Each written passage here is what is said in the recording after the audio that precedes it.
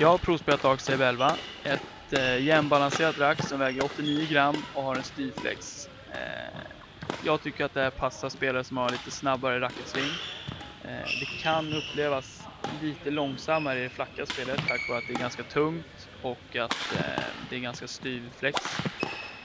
Dock så är det några av de absolut bästa spelarna i världen som spelar med AXB 11. Eh, både i singel och dubbel så det, det, passar i båda kategorierna om man, man vet hur man ska använda det.